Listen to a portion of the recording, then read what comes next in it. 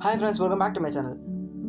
Today I'm going to draw a cheetah with charcoal pencils. This is one of my most favorite animal in my childhood. I had spent more than 14 plus hours to complete this art.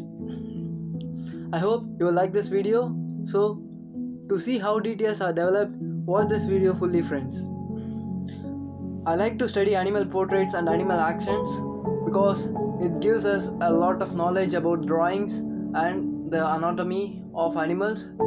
So I had started it nearly 2 years back and I had learned lot of things about the animals at that time.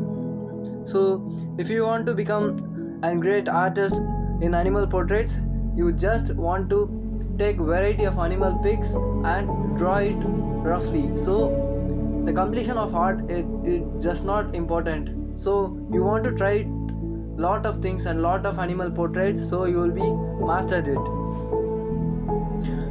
This drawing roughly took me 14 plus hours. This is more than the drawing which i had done earlier.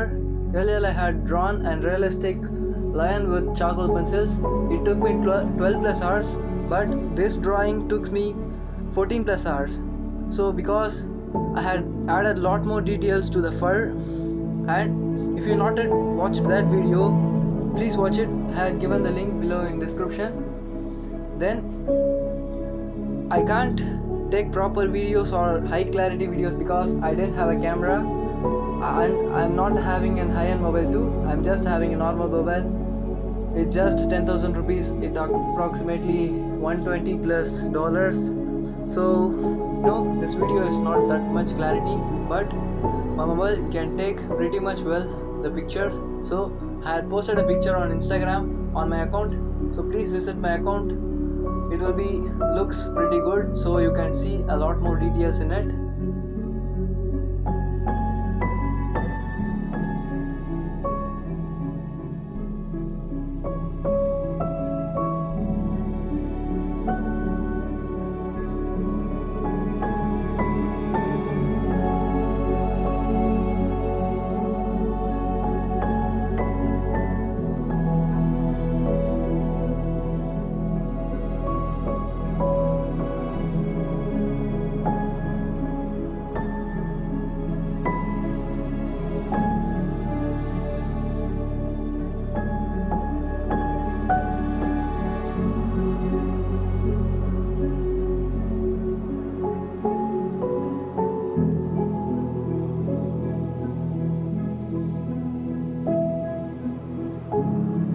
I'm very much fascinated about animals portraits so what I have done couple of videos within this week.